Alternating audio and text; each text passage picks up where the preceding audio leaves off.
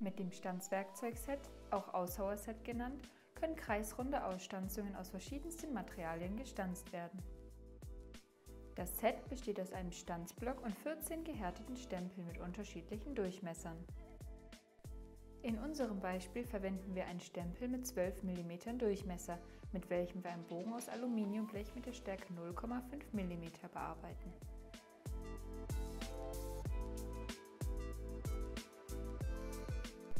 Zuerst entfernen wir alle Stempel, die nicht gebraucht werden.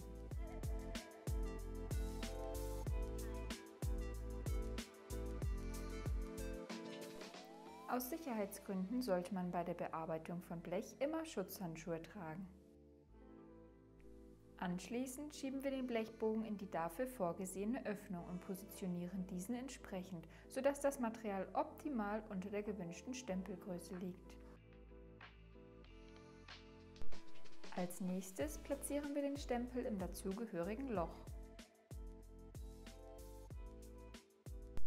Wichtig ist, dass die Seite mit den scharfen Kanten nach unten und die Fläche mit den abgerundeten Kanten nach oben zeigt. Danach hauen wir mit Hilfe eines Hammers auf den Stempel.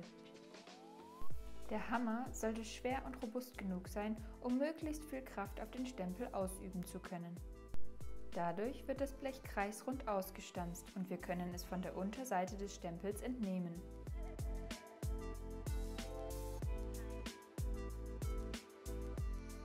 Damit wir nach dem Ausstanzen den Stempel leichter entfernen können, hauen wir diesen einfach durch die Bohrung durch.